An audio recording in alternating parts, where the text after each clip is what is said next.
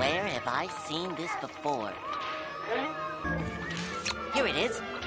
Land squirrel. That little squirrel is in trouble.